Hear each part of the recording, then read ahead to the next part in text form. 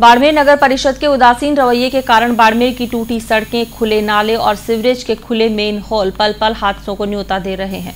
दरअसल पहले से ही मुख्य मार्ग की सड़कों पर कई जगहों पर गड्ढे थे, वहीं रही सही कसर बरसात के बाद पूरी हो गई। बरसात के कारण सड़कों पर बड़े बड़े गड्ढे बन गए हैं, जिससे प्रतिदिन हादसे हो रहे हैं।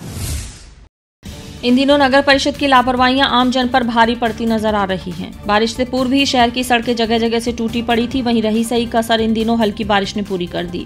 शहर भर में मुख्य मार्गों, गलियों और चौराहों के हालात खराब हैं। जगह जगह से सड़कें टूटी पड़ी हैं, पानी का भराव है बड़े बड़े गड्ढे हादसों को न्योता देते नज़र आ रहे हैं। वाहन चालकों सहित आम राहगीर का गुजरना मुश्किल हो रहा है। शहर में सिंधी रोड, शहीद सर्किल, केंद्रीय bus stand, college road Rai colony road road शहर के कई अंदरूनी इलाकों के यही हालात हैं। जनता परेशान है और नगर परिषद नींद में।